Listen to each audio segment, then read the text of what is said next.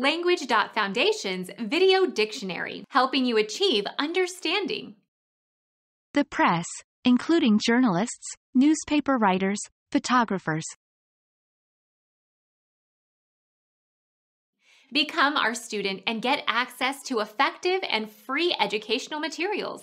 Subscribe to our channel to become a part of our growing community and to learn English effectively.